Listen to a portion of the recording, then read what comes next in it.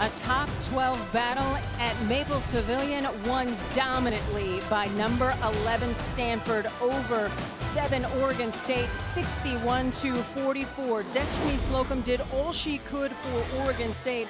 I'm Cindy Brunson, so glad to be with you. Slocum 23 points, a lot of them coming in the fourth quarter, but the rest of her Beaver team only able to score 21 part of the reason why Oregon State finishes with a season low of 44. Meantime, Stanford started cooking with gas, particularly in the second quarter.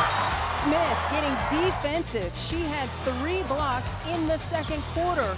And then she found her O. She finished with 17 points, and the three started falling as well but there was a 17 to 1 run in that second quarter fueled by Kiana Williams. She started feeling it from distance. She hit four huge triples and led Stanford with 18 points with touch you only dream about.